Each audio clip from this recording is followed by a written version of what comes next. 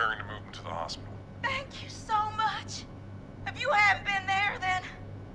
God, I don't even want to think about what would have happened. Of course, Casey. We're just happy he's okay. John, Casey, you two did all the work. Tell Jason to get well soon from us, whenever he's up for it. Well, why don't you tell him yourself? Is this Forrest? The one and only. I hope you're feeling better. Button somewhere in here. Far back corner. Why is this station so big? Right, it's not this way. Must be over here somewhere.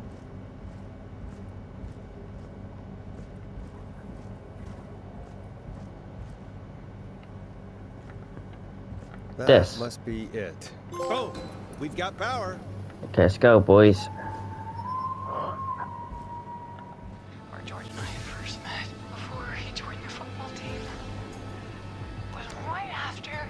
He shot the winning throw. Wait a sec. Am I at the school gym? Gallows Creek High. In the gymnasium. That's right, Forrest. Not that it matters, but yes, Uh, we're here. Anyway, I think that about wraps up the interview with Teddy. So, no!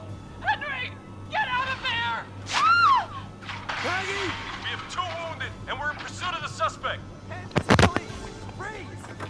well, uh, at least I'm saved. How's Peggy? Can't see us at this window, though. We're here now.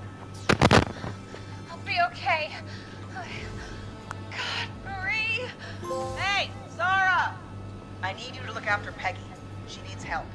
Now, we got here just in... Well, folks, it was a long night, but we made it. He's still acting like nothing happened. Head off to go check on Peggy.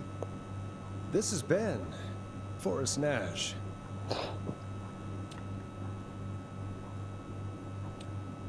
Let's make tomorrow better. Yeah, with no more killers on the loose.